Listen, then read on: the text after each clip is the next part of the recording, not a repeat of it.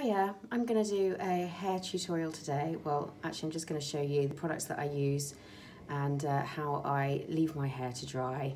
I've got really long curly hair and I never use a hairdryer. I find it damages my hair and makes my hair really frizzy even if I use a diffuser. So I just want to show you how I do it for those of you who have long hair and also for those of you who've got kids with long curly hair and don't really know how to deal with it. So I give myself a side parting and I use a paddle brush. This one is by Paul Mitchell. Um, I shampooed my hair earlier and I use Arbonne shampoo usually, uh, which is vegan and botanical and leaves my hair really lovely and soft. I have trialed other products. Um, I have used, oh, excuse me, Josh Wood Colour, which is also very good. So if you've got coloured hair, that's a good option. So I'm just brushing all the knots out and I'm also sort of starting to define a shape. So I'm not trying to give myself a parting at the back and obviously just brushing my hair in the direction where it's going to sit when it dries. So I use three products and because I'm lazy, I put them all on together. I've got L'Oreal Tecni Art Liss Control. I have Evo, Liquid Rollers, Curl Balm, and I also have this wonderful Kevin Murphy Young Again Serum, which actually just is really good for stopping frizz, particularly if you're out and about in humid weather, which I am at the moment. So I'm just going to take each of these products, I'll show you how much I use, that much, that's the L'Oreal. This is the Evo, which is thicker, about that much. And then the Kevin Murphy, about three squirts.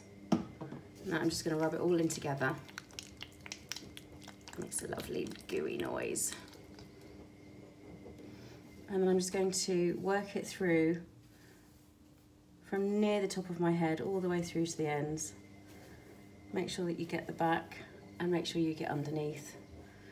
Same on the other side. Just work, make sure it's all worked into the hair.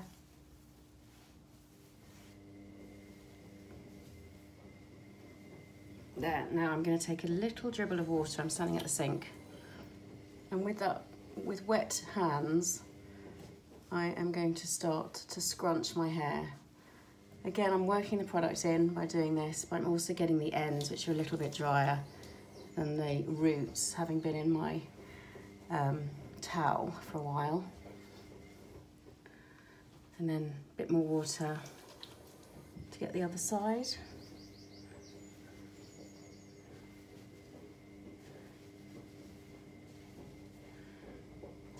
And a bit round the back.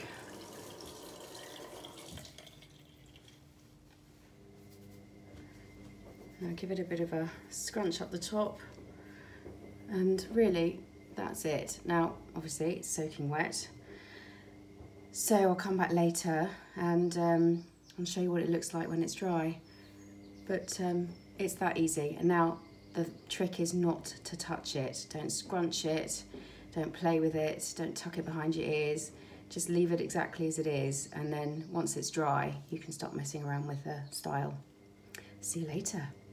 Hi folks, I'm back. So it's been about an hour and a half since I did the first part of this video with the products. And sorry, I'm a bit hot. I've just been out for a walk with the dog. So this is the finished product. I haven't really done anything. I haven't scrunched it. I haven't touched it. I've just, as I say, been out walking and come back all hot and sweaty and it seems to be fine. Um, it's not um, frizzy. I haven't used a hairdryer. I've just been out in the sun. Um, so I have really struggled over years and years of having long curly hair to find the products that, that suit me. And this combination seems to work, so I'm not going to change it. Um, let me know if you want to know more about the products, if you want me to um, share the product names with you, and I'll, I can do that in the comments. And also just to show you the back, so you can see the kind of definition of curls. That's what's going on there. And I, I just like this kind of shaggy, beachy look. Um, so if you've got hair like mine, which is not that thick, but there's a lot of it, then these products might work for you too. Let me know. Bye.